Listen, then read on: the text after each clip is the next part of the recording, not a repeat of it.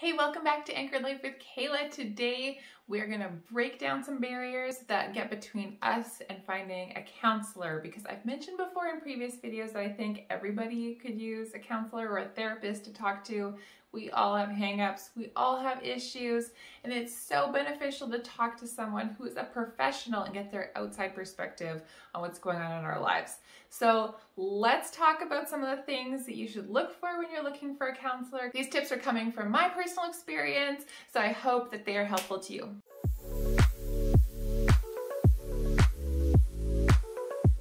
I think there's often a stigma when you say, I need to go for counseling, or I'm gonna go see my counselor, or does anyone know of a good counselor? So I wanna just talk about it, get it out in the open so that you don't have to feel embarrassed or ashamed about it, and just know that, hey, you're in good company. How to find a therapist that's right for you. Well, first think about what do you want help with and how do you want to go about that? Because different counselors are good at different issues and might be more into family things or work stress or trauma, whatever it is that you want to work through. Just kind of gather a main idea of what you want to work on and kind of get an idea of how you want to get there. You'll also want to check how much the therapist costs if that's an issue for you because they might have different prices or a sliding scale depending on how much you are able to pay and sometimes through your work you might be able to get some free counseling sessions. I've been able to do that as well through my work so it's definitely something that you would want to look into. I've personally been to three therapists myself.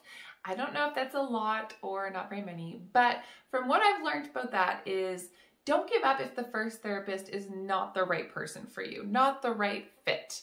We all have different needs and sometimes it's just not going to mesh well with the first person that you see and that's okay. You can just tell yourself, okay, I try to do something good for myself and I'm going to keep trying and I'm going to try somebody else. So my first therapist that I saw she was a little scary and intimidating, which is maybe not that great when you're trying to like talk about all these super personal issues. And she also gave me a lot of reading assignments and didn't really let me talk much, which is not what I had decided I wanted in a therapy. I wanted to be able to express what's going on and actually talk to someone, have some interaction instead of just going home and reading these things by myself.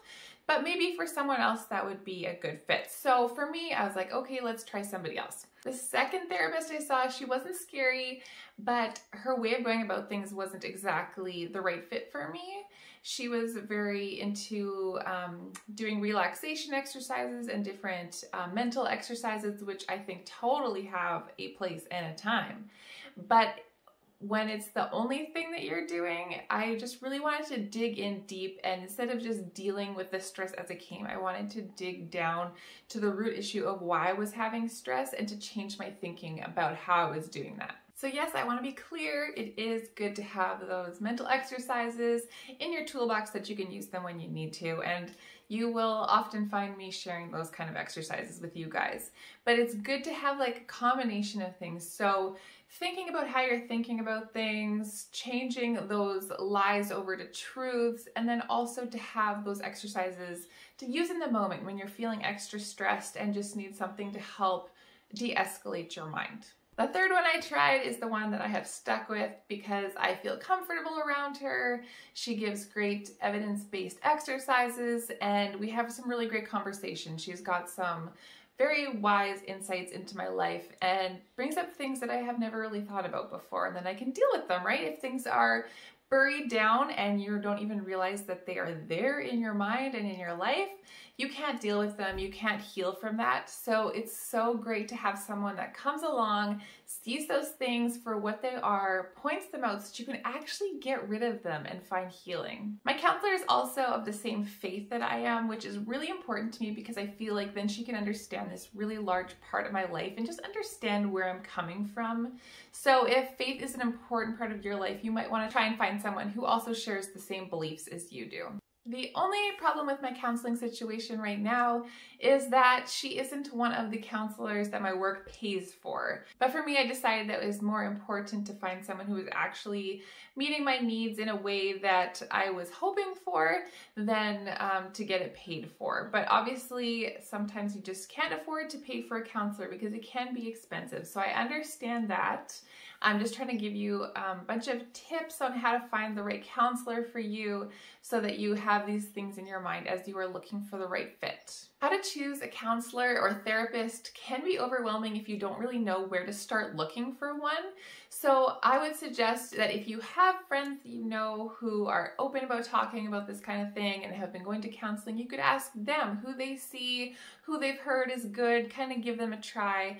But I know that these things can be very difficult to talk about and sometimes you don't really want to admit to people that you need to go for counseling or that you're looking for a counselor. Maybe they don't want to tell you that they're going to a counselor. So that is why I made this video because I had a friend who was very, very open about the fact that she was going for counseling and she was on medication for her mental health and she's just so open about it. And this is kind of when I just needed somebody to kind of be there and show me that I wasn't alone in my stressful situation when I was kind of new to this whole counseling, being on medication kind of thing. So I wanted to make this video so that you know that you're not alone, so that we can just destigmatize this whole issue of going to a counselor because it is so great. Like even if you aren't having major issues and you aren't on medication for your mental health and not struggling this way, you could still benefit and be even healthier for yourself and the people around you by seeing a counselor. That's why I'm open about it with you guys and just here to talk about mental health things so it's not so scary. Remember, don't give up. If you try a counselor and they're not the right fit, just try another one. You are worth it. Your mental health is worth it. Everything stems from the health of your mind. So it is so crucial that you take that time and make sure that what you're thinking and how you are viewing the world is a healthy way. You are worth the time, the effort, and the money that it takes to get healing. You have so much potential. You are so, so worth it. So don't think that it's just too much effort or you're not worthwhile putting all this effort into um, to get better mental health. Make sure that you take care of yourself because the people around you, like I said, they're just gonna benefit more from having a healthier you around. And you're gonna be able to be an example to other people that they can do it too.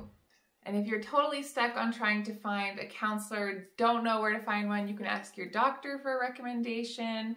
You can also use the internet and see who is in your area and how well people like them. I hope this video was helpful to you, and if it was, please hit like and subscribe to my channel. I release new videos every single Friday, so I will see you soon.